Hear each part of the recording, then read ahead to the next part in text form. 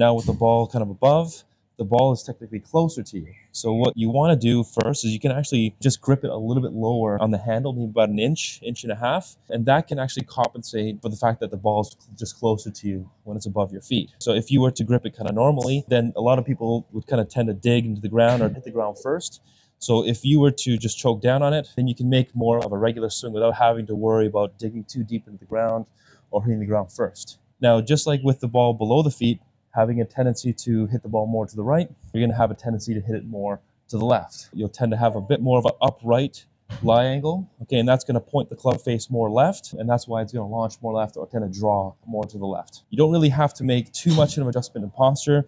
You just have to grip a little bit lower on the, on the handle, and then make sure that you aim a little bit more to the right to compensate for the directional changes. So other than that, just grip it short and then make another regular swing.